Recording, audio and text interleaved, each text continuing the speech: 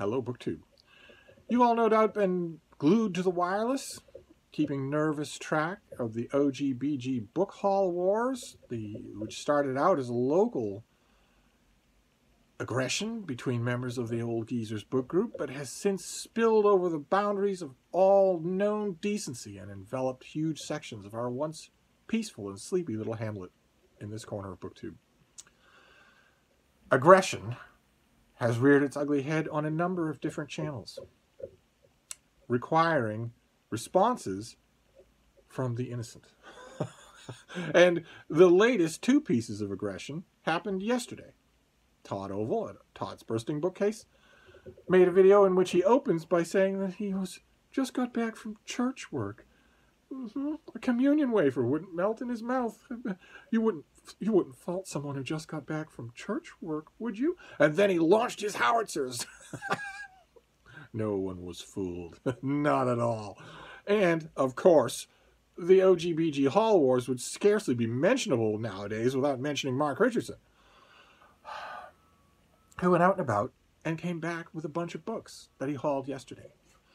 Faced with these dual acts of aggression, there was very little I could do, except to uh, go up the street to the Brattle Bookshop here in Boston when my morning's appointment was over and refuel, restock, give my soldiers more marching orders.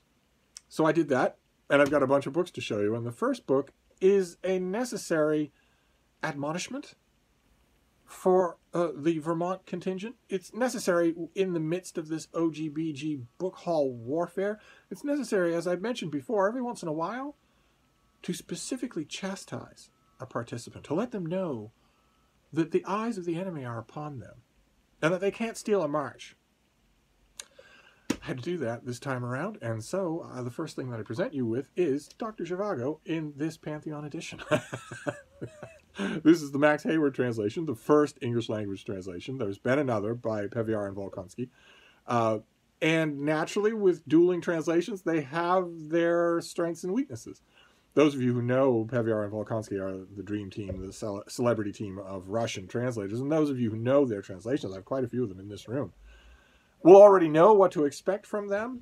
They do a, largely a superb job, but also at times a very idiosyncratic one. They they try very much to hew their translations to sounding like echoes of the original, even when that's not really all that possible. And I'm thinking specifically here of their translation of War and Peace, even when doing that will make a reading experience that is a little bit uncomfortable or even off putting to the English language monoglot reader. They do that anyway. They make that decision anyway, and they trust to the fact that they have a brand and that they can load it with footnotes so that they trust to that to keep things going. And as a translator's philosophy, I don't object to that you can give that a try. Absolutely. Uh, this translation, which is by Max Hayward and Manya Harari, uh, tries something different. The, tries the other thing. In typically typically tried in translations from the Russian, which we saw we see in uh, great old translations of Tolstoy or Dostoevsky by people like Constance Garnett or the Maudes, and that is not to convey in English something of the reading experience in the Russian, but rather to change the Russian into an English reading experience.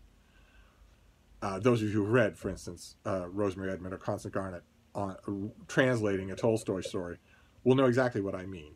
Their their translating ethos is not here is the best, the most, clo- the closest approximation we can make of the original, but rather here's the closest approximation we can make of the original into a book as if it were written by a native English speaker.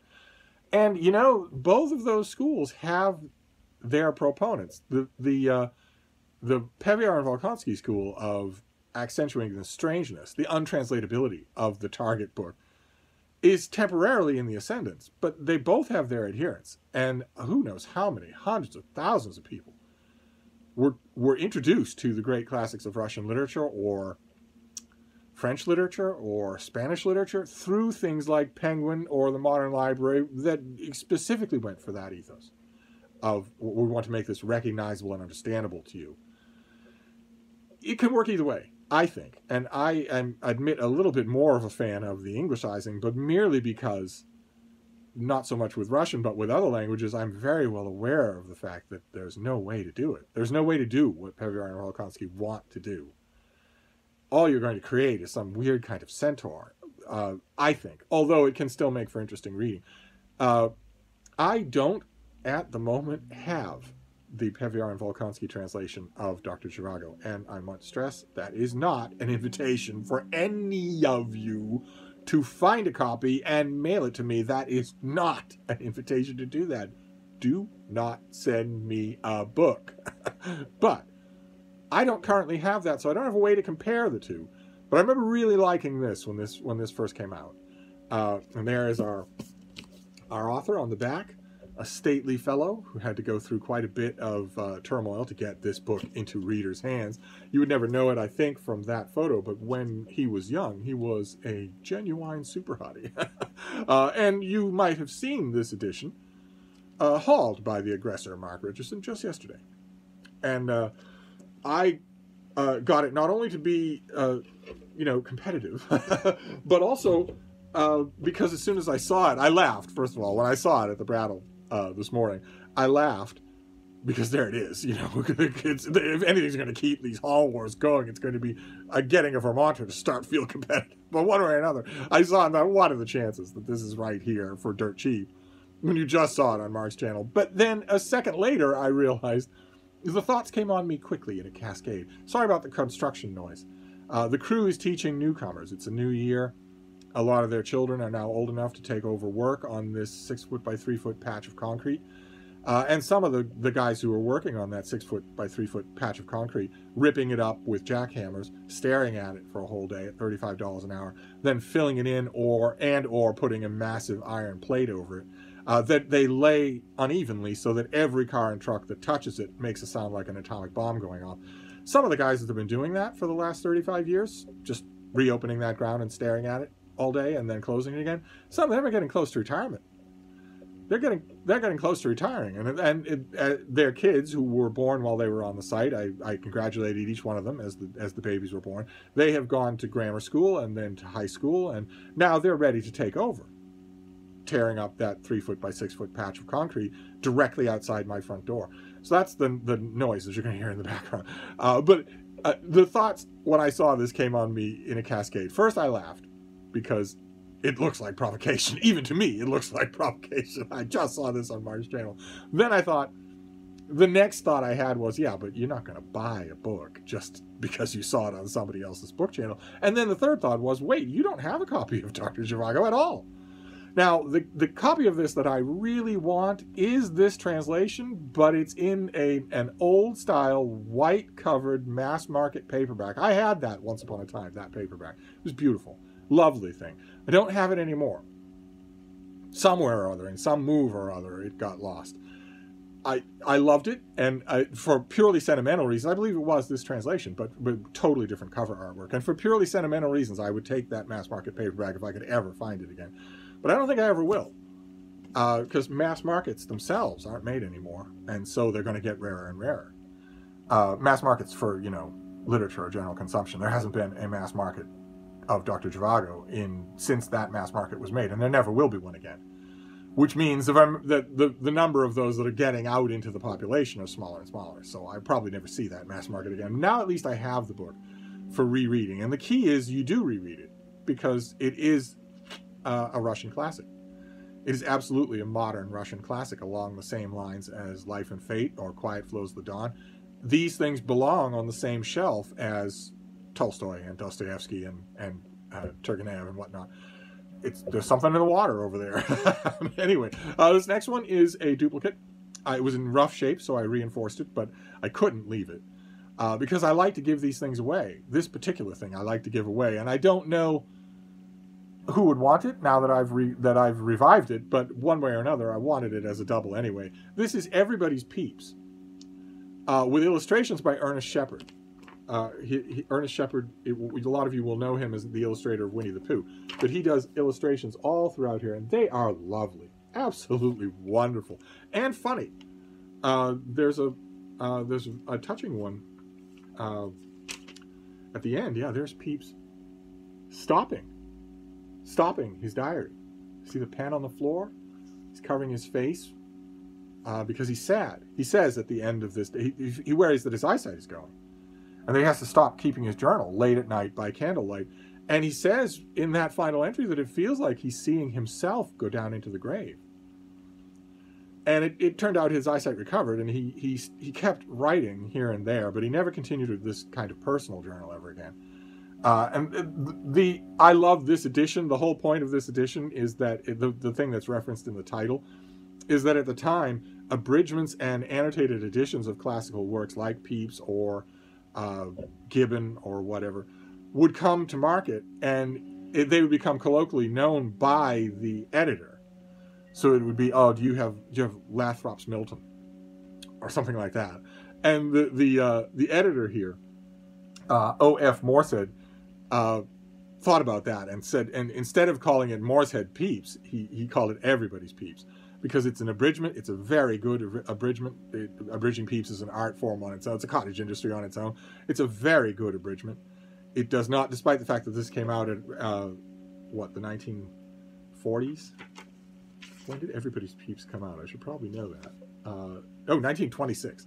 Despite that fact, when it came out in, in you know 1926, you would think that since it came out at that period, it would mostly stress Pepys's silly amorous adventures, all the ladies that he falls in and out of love with, all the serving maidens that he uh, stoops at one point or another. And, and that isn't true. This editor re resists that temptation and instead gives a very rounded picture of Pepys's life and time. That makes it a very good abridgment, and the illustrations just seal the deal.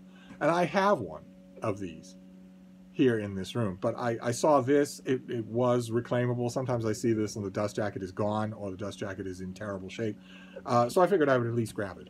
Uh, then we have this thing. I've had this before a few times. I think I might have to reinforce this one. This is Philip Rahv. Uh, and this is Essays on Literature and Politics, 1932 to 1972. And this has, it, this is mostly, uh, there is our author uh, and the thing that killed him. So uh, why this is the photo, I have no idea. I never understand that. Why that is the photo. I don't understand that. If an author died in a gruesome car crash and he was beloved, would you hunt around and make sure that the black and white author photo on the back of the book was a picture of him and a split screen with a picture of that make and model of car? No, you wouldn't. In any other circumstances, it would be viewed as the horrible, morbid in joke that it is. But for some reason, it just, well, not for some reason. The reason is known because Big Tobacco pours billions of dollars a year into characterizing their drug addiction as something cool, something that betokens rebellion and deep thought.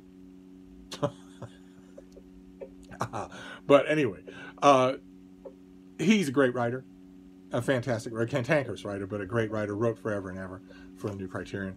And this has, in addition to everything else, it has a foreword by uh, Mary McCarthy. And I want to read you just a bit of that. Uh, just the way it begins. It goes on, it's just wonderful, but this conveys quite a bit. So he's gone, that dear phenomenon. If no two people are alike, he was less like anybody else than anybody. A powerful intellect, a massive, overpowering personality, and yet shy, curious, susceptible, confiding. All his life he was sternly faithful to Marxism, for him both a tool of analysis and a wondrous cosmogony. But he loved Henry James, and every kind of rich, shimmery, soft texture in literature, and in the stuff of experience. He was a resolute modernist, which made him in these recent days old-fashioned. It was as though he came into being with the steam engine. For him, literature began with Dostoevsky and stopped with Joyce, Proust, and Eliot. Politics began with Marx and Engels and Marx and Engels and stopped with Lenin. He was not interested in Shakespeare, the classics, Greek city-states, and he despised most contemporary writing and contemporary political groups, being grumblingly out of sorts with fashion except where he felt it belonged, on the backs of good-looking women and girls.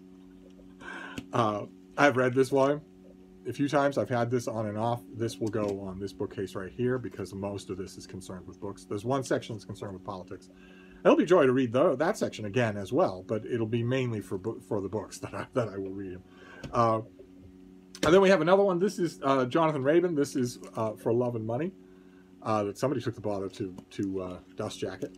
This is a book of his that I have uh, haven't read in ages. I've read all of his more popular books, but this is a kind of uh, collection of autobiogra- autobiographical sketches about his life and writing, about his writing life, about how he entered the writing life and what he thinks about all the aspects of it. There isn't hardly a kind of writing that this guy hasn't done.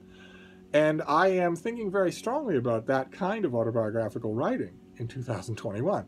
Uh, and I want to I want to uh, read you just a bit of this as well, just to give you a, a taste uh, for what he's like. I want to read you the beginning, and then I want to read you his description of book reviewing, which I just love. Uh, this is partly a collection, partly a case history. I've clocked up nearly 20 years as a professional writer, and in that time I've made the intimate acquaintance of all of Cyril Connolly's enemies of promise, with the sole exception of the pram in the hall. That's a reference to a Cyril Connolly book, don't worry about it. Uh, I've written out of compulsion, for love, and I've needed the money. It is a curious occupation, this business of short distance commuting between the bedroom and the study, and a subject in its own right. It puzzles people. Strangers at parties striking up a quote unquote literary conversation don't usually want to haggle over the contents of your review of Martin Amis in last week's Observer, let alone whether your most recent book got off to a bad start in the first chapter. They have quite probably read neither, but they're still interested. They want to know whether you use a pen or a typewriter, what time you get up in the morning, whether you keep regular working hours, whether you can really make a living from it, and the big clincher, exactly what and how much you get paid. Average adjusters, lecturers in economics, shoe salesmen, property developers don't wince, shuffle, or gaze distractedly at the ceiling when somebody politely asks, And what do you do? For the professional writer, that question, which is quickly followed by, Oh, should I know your name? is the prelude to a searching catechism of a kind most appropriate to a VAT inspector than to a fellow guest in a drawing room. The safest response to it, if you can summon the requisite bottle, is to say, I'm a steeplejack, and beam ferociously. That's just the beginning. That's the opening paragraph to give you an idea of what this book is like. But I want to read you also his. Uh, he writes little about. Uh, how great a book writer, uh, book review writer V.S. Pritchett was. And then he goes on to talk about book reviewing in just a way. I won't, I won't try your patience any longer than this. Uh, a reviewing job carries with it a license to read more freely and widely than any academic, whose set books crop up year after year on the same courses and for whom keeping up with one's field tends to mean reading the same words or minor variations of them a hundred or a thousand times over. I once knew a man who staked an entire academic career on his reading of two novels, The Golden Bowl and Giles Goat Boy. Scavenging freelancers, sorting through piles and shelves in the office, a more productive arrangement than the one in which the literary editor commissions a review of a particular book over the phone. Yeah, that was always the way to go, is if you could, if you had entree at all, go into the office and look at the piles of, of advanced copies, of review copies so that you can make pitches right there on the spot. That was always the golden ticket. Not possible anymore. All the newsrooms are closed. But once upon a time, if there was any way to do that without having the, the security guard show you out, that was the way to do it. Uh, can go off on sprees. The, the freelancer can go off on sprees, immersing themselves in Trollope one month, Ted Hughes the next, the architecture of the city the month after that, Philip Roth the month after that. The literary framework in which they live is necessarily provisional and in a state of continuous expansion and alteration.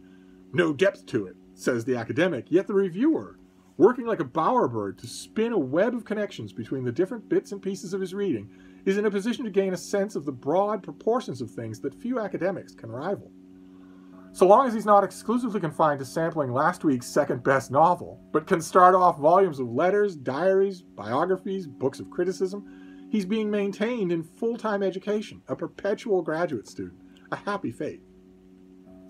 He is as much a writer as a reader.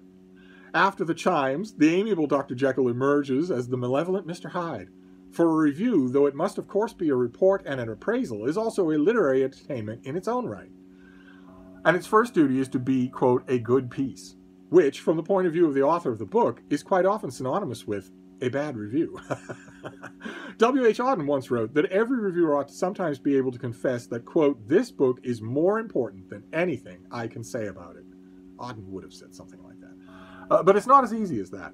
Most books, even rather bad ones, are more important than what their reviewers can say of them. Their sheer length and longevity, compared with the sparrow flight of a review across the single page of a newspaper, guarantees them their preeminence. And Auden's remark sounds useful, sounds a useful warning note about the chronic vanity of book reviewers in general. Yet it's a lousy prescription for actually writing a review. It has the, authentic, the authentic allo alloy ring of a puff written by someone commending a friend's book that he hasn't yet had time to read. The reviewer is there to write, not to melt away from the book in tongue-tied wonder. Gotta love that. I could have that carved on my gravestone if I ever planned on dying. Let's read it again. The reviewer is there to write, not to melt away from a book in tongue-tied wonder.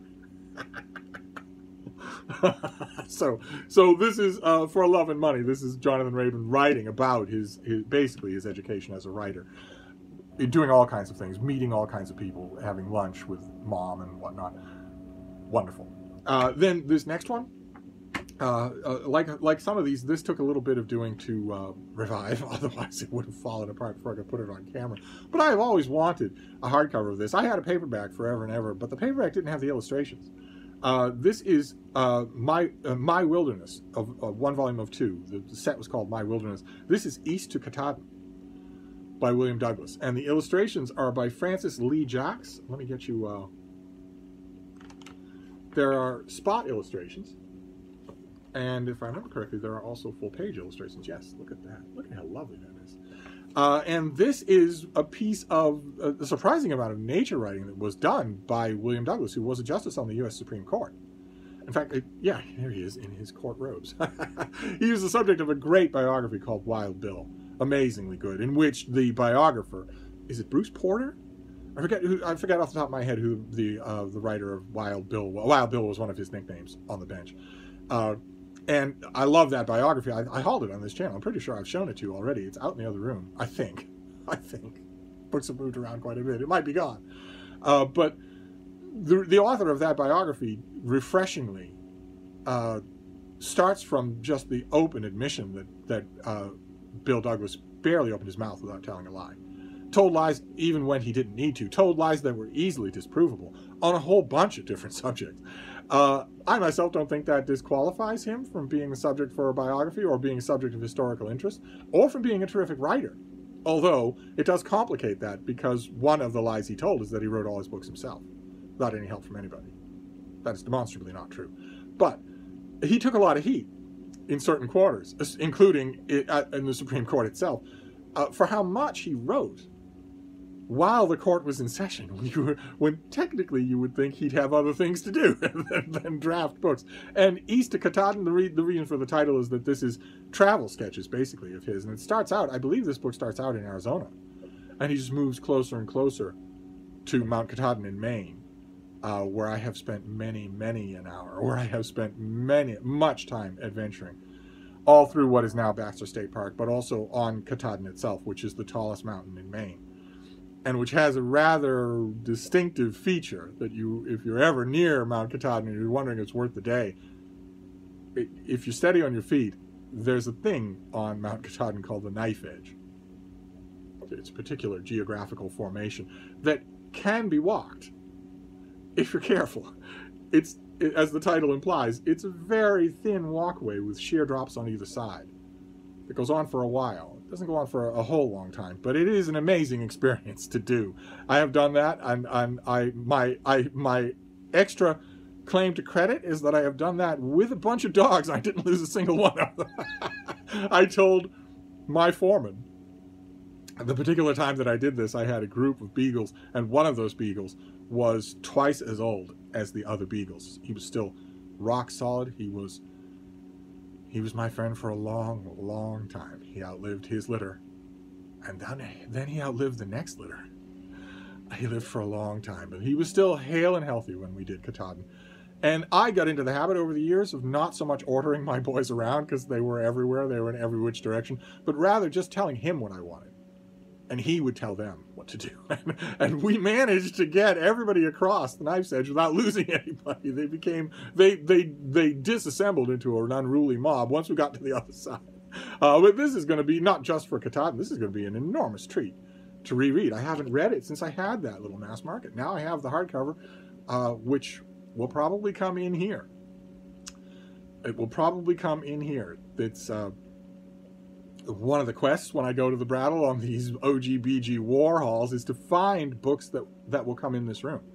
Find books that will be keepers, that will fill this bookcase right next to me uh, over the course of a year. Now, the the used book buying in 2021 has been a little bit more intense in January than I think it will be in other months, mainly thanks to the unceasing aggression of people like mild-mannered Bill Rutenberg or mild-mannered Peg at the History Shelf or mild-mannered church-going Todd Oval.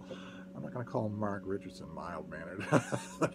if I weren't egged on by them, if they would simply agree to my territorial demands, then I would be as peaceful as a babe. one way or another. This next one is also coming in here. I don't think there's any doubt about it. I almost have a full shelf of these books. This is by John Michell, and this is Who Wrote Shakespeare? Just as simple as that. Who wrote Shakespeare? Uh, assuming that Shakespeare did not. Uh, and I, I want to read you just a bit at the beginning here because Mitchell gets right to the point. He dives right into the point. Some people do not approve of this subject.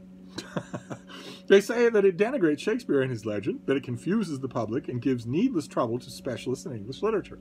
There is no doubt, they say, no doubt at all, that Mr. William Shakespeare wrote the plays and poems attributed to Shakespeare, and that Stratford-on-Avon is his proper shrine and reliquary. Uh, and he makes uh, a point of saying uh, how contested it is, how many different uh, warring groups for Bacon or for Marlowe or whatnot. And he makes an excellent point here. A good reason why the Stratfordians, those are the Stratford on Avon people, the people who say there is no argument here, there is no dissension, Shakespeare wrote the works attributed to him. Uh, the reason why the Stratfordians become agitated at the mention of the authorship question is that they, alone, of all the parties in the debate, have something to lose by it. The Shakespeare cult is established worldwide, with Stratford upon Avon at the hub of a vast industry employing scholars, students, educationalists, authors, publishers, curators, tour guides, and trinket sellers, pleasantly and in large numbers. The Stratford birthplace, the prime asset of England's tourist trade, is now further aggrandized as a monument of Euroculture. Heretics who question the faith on which all this rests are not welcome and must expect rough treatment at the hands of the Stratfordians. Yet, as a matter of visible fact, there is a problem. Lives and careers have been devoted to it, and it exists materially in an enormous body of literature on the question of Shakespeare's authorship. It would need a great library to accommodate the thousands of books, let alone countless pamphlets, journals, and articles which the debate has generated. The authorship problem does exist. Ah, I think it's fascinating. I think it's a dead, a, a drop dead mistake, even to ask the question that forms the title of this book. And yet, Shakespearean authorship conspiracy theorists do it all the time. It's not enough for them to raise doubts. They have to ask, they have to supply a candidate. It's not, did Shakespeare write Shakespeare? That's not the title of this book. Instead, it's who wrote Shakespeare instead of Shakespeare. And that's a mug's game. That can't be won. Which is why there are, the title, the, the cover is just all of the candidates. And that's why it can't be won. That's why there are a thousand books on each candidate.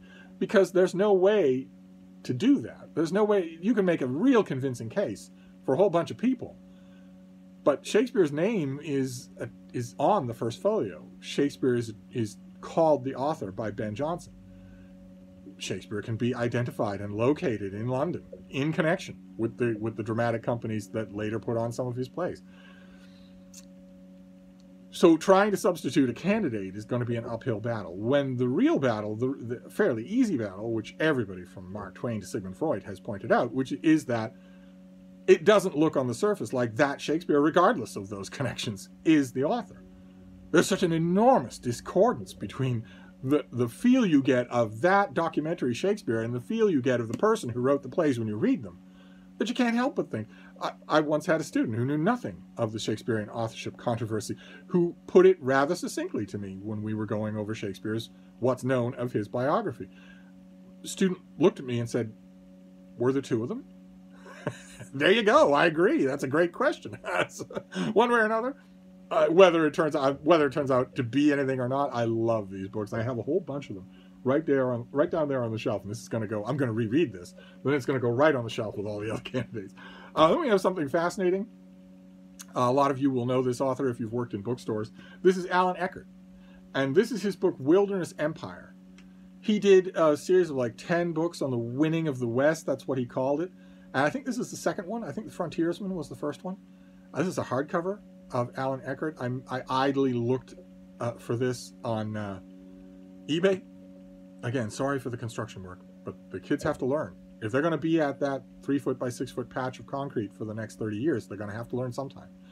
I'm hoping you can still hear me, even though the endless drone of construction work. The, the endless drone, that particular background noise here, let's sample it. That was going on at 11.15 last night. I had to uh, put on pants, put on a sweatshirt, put on a hat, put on a mask, go out, walk down the driveway, walk over to the guy overseeing the construction and say, if you don't knock off for the night right now, I'm going to call the police. I'm going to wait here and I'm going to swear out a criminal complaint against every single one of you. You've been here for 11 hours. It's 11 at night. Knock off until 9 in the morning. And it was like I woke them out of a trance. Like, oh, wow. They probably all had calls from their wives or their husbands all evening saying, Where are you? Because there's something about this area. It's, I think, obviously a gigantic leak of natural gas that will certainly account for my death. I think that's the reason it just puts people into a trance. Uh, here you hear sirens, and that's two different kinds of sirens. That's police and fire engine. That's on top of the construction noise. And if we wait long enough, you'll hear fighter jets going overhead at a very low altitude because they're coming in low at this point uh, in order to bomb the rebels just up the road. So I live in the most noisy place anywhere on Earth. Uh, but anyway, uh, I, I was looking on eBay just idly at Allan, at Allan Eckert, wondering actually about the old mass market paperbacks. That if any of you worked in bookstores 20 or 30 years ago, you might remember those paperbacks. There were a whole bunch of them. Uh, and I found that these things are, are going for a lot of money. so when I saw this at the Brattle for nothing, next to nothing, I grabbed it. Uh, this the empire referred to in the title of this book is the Iroquois Confederacy, uh, which uh, Allan Eckert researched to a fairly well, and uh, and then wrote about. It was a, a vast uh, governing empire inland America that that waged warfare against other Indian tribes, that co-opted and coerced other Indian tribes, and that eventually was, you know, as as Eckert puts it, it was a gleaming jewel, just waiting to tempt the French and the British. Uh, and this is, I'm gonna be, it's gonna be very, very enjoyable to reread this author. I haven't read him. The only thing I've read by him anyway recently is his great book on Tecumseh, his biography of Tecumseh, a Sorrow in Our Heart. And that book caused a lot of controversy uh, because the author engages in that book in a particular kind of biographical writing. Uh, it's not anything that anybody else does. He sort of perfected it himself in the modern era. Herodotus does it all the time. Livy does it all the time. But in the modern era, he sort of perfected an idea where uh, he fuses techniques of fiction into his history writing. He knows the records better than anybody. If he encounters in the records a, a doubly or triply attested conversation between two characters, where the person who writes the record simply says what each character says, then in his book, he will make them say it. It'll be quotation marks. It'll be so and so said this. If he can in any way accurately infer the person's state of mind, he will give it. He will say it so and so said such and such in such and such a state of mind. If he can infer their emotional state, or if the eyewitness is to test their emotional state and he thinks it's trustworthy, he'll include it. It makes a fiction style narrative out of what he's writing. And he does the same thing in this book. He does the same thing in all of these books in The Winning of the West. Uh, that same technique of fusing the uh, gestures of fiction with the historical record and it vexed him. It caused him no end of nitpicking from from critics, large and small, all the way from anonymous sniping at Kirkus, all the way to the New York Times, where people saying, "Well, you can't do that. You can't do that. That that's not allowed as a historian." It drove him nuts, and I don't I don't doubt that it did. I understand why it would drive him nuts because it, they won't find a more scrupulous author. Uh, I think I think actually, look at this. Isn't this lovely? That's what the whole thing looks like. That is just beautiful. Uh, I think he says that right at the beginning of pretty much every one of these books. Uh, let me see if we can find it. Yeah, the author's note, right at the beginning of this book. Wilderness Empire is fact, not fiction. It's as simple as it gets. And yet, there isn't a bookstore anywhere in the world that didn't shelve this in fiction. And all the paperbacks were shelved in fiction, or in westerns. Worse. Uh, Wilderness Empire is fact, not fiction. Every incident herein described actually occurred. Every date is historically accurate. Every character, regardless of how major or how minor, actually lived in the role in which he is portrayed. And uh, this author is totally forgotten today, but trust me, you wouldn't have wanted to argue with him on that point. He knew his sources better than anybody. Uh, so it's going to be a treat uh, to, to read this again. And I'm wondering, naturally, since it's a Brattle Haul, I'm wondering if the person who dumped this at the Brattle Hall also dumped all the others. And in these editions, that would be wonderful. I'd love a bunch of these. Uh, and then we have uh, a nice big fat collected short story edition that's definitely coming in this room. I may have to reinforce it. Pretty thing from I think the 1980s. This is the, the collected stories of Sean, O'Faolain. And uh, the dust jacket, I think, refers to him as the Ireland's greatest living storyteller. That this collected stories was uh, a fixture when was it was it the 1980s? This was a fixture when it came out. Uh, it was uh, uh, yeah, 1983. Uh, it was easy to sell this to customers. They, they, just, you know, it was stacked everywhere, and people wanted, you know, uh, the Irish are known for their short stories. They're known for their literary brilliance, and uh, as soon as I saw this at the Brattle, I realized that once upon a time I had a Sean O'Faolain uh, paperback. I think from Penguin, maybe, but it wasn't this many. It wasn't this much at all. This is a, a massive thing that, excuse me, that I have not seen used ever until today. I remember it in bookstores, uh, but I grabbed it today when I saw it, uh, and it will go on the shelf here. I have a shelf in this room reserved for great short story collections. There's Eudora Welty, there's Flannery O'Connor, there's William Trevor, uh, there's John Cheever and there's Frank O'Connor, and here this this will go on there, but not before a great deal of rereading. There are probably stories in here that I haven't read at all, which is just unacceptable. and then the final book in this latest OGBG Haul War Brattle Bookshop Haul uh, is uh, a Norton anthology. Uh, some of you may have seen on uh, Mark Richardson's channel, for instance. Not that you should watch his channel. He's almost at 2,000 subscribers. Let's get him over 2,000. Uh, but uh, he has championed on his channel, and I wholeheartedly agree with it, that sometimes literary anthologies that are put together for school can make really great volumes to have, whether you're going to school or not. If you're lucky enough to find one that's in good shape and that isn't underlined or highlighted all to hell and gone by some student. Uh, and I found one of those today, the Norton Anthology of Poetry. In a very nice, thinner hardcover. This hardcover is thinner and taller. Uh, and it took some reinforcing. It was in really bad shape when I found it. Uh, but it is from the 1970s, the late 1970s. So it's safe. And this has everybody in English, uh, from Chaucer all the way to the present day. Randall Jarrell, I think, is in here. Uh, and it's, it's safe because Norton Anthology of Poetry that's put out today is totally useless as a poetry anthology. It doesn't care about poetry. It only cares about politics.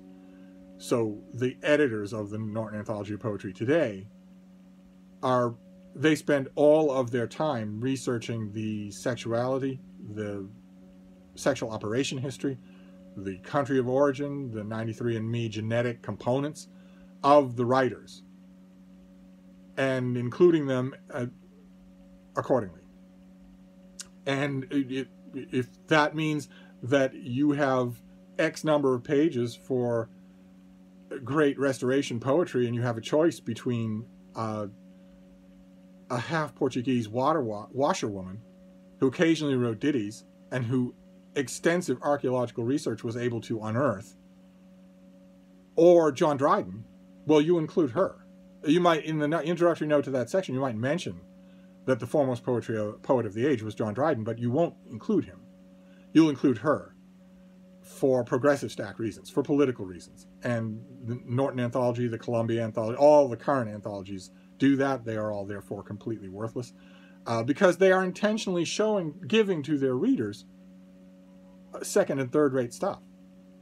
They know who wrote the first rate stuff and they don't care. And that is not what an anthology should do.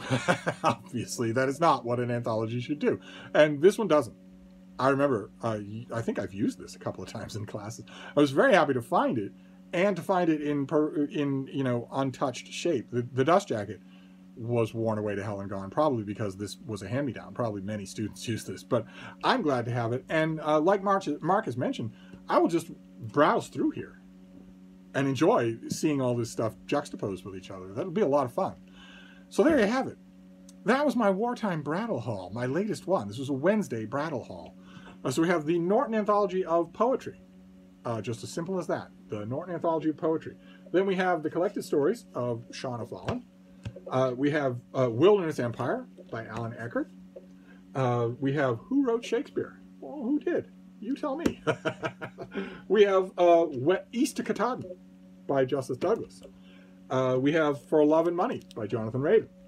Uh, let's see here. We have Essays on Literature and Politics, 1932 to 1972, a book badly in need of a title, uh, by a great critic gone too soon. We have Everybody's Pepys. Just I, I just revived and saved a version of Everybody's Pepys because I couldn't stand to see it just go nowhere. And finally, Dr. Zhivago in the Pantheon hardcover. Uh, so that was my Brattle Haul, the second of this week. His bookcase is not full yet, but it's getting there. so I'm going to wrap this up for now, uh, but I'll be back. Thank you, BookTube.